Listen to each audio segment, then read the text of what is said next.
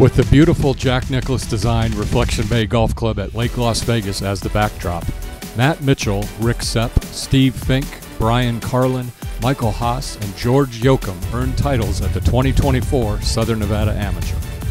It was the Southern Nevada Golf Association's third major of the year. Mitchell earned the championship division title by one shot over Philip Reedy and Andrew Hawk to win his third title of the season.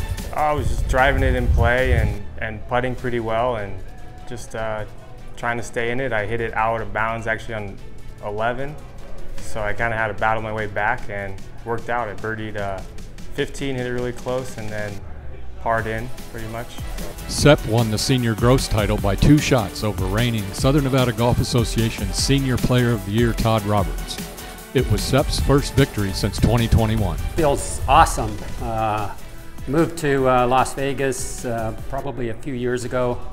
Won my first tournament at Boulder Creek, which is my home course. Beat Todd in the playoff, and um, you know haven't haven't won since, and so it feels great to be back uh, in the winner's circle. Fink has long been one of the top amateurs in southern Nevada and won the silver gross title by two shots over the legendary John Turk. It's hard out here, hot and windy, so it was more survival and um, had a battle with John Turk down the stretch, and I was fortunate enough to win. So it feels great. I'm very happy to win a major. It's been a long time. On the net side, Carlon, a Kirby Golf Association member, won the Open title by two shots over Aaron Suchi. You know, it's been a while since I've won a tournament. Um, I play with KGA every Sunday, and we, we always have a good battle, you know, 40, 50 guys. So it was nice to get into an SNGA tournament, get in contention.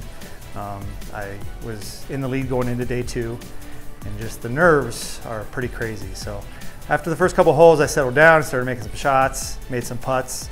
Um, the greens were really firm, so you had to be careful. You couldn't go at a lot of pins. You had to keep them, keep the shots short and just kind of chip up and hope you can make par.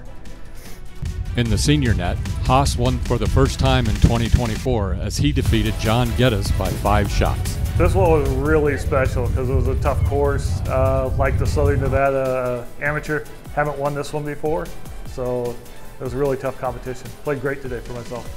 I hit on number seven, hit it in the water, hit my next shot in the water, chipped in for a five. Pretty good. Yocum won the silver net division by three shots over Barry Boudreau.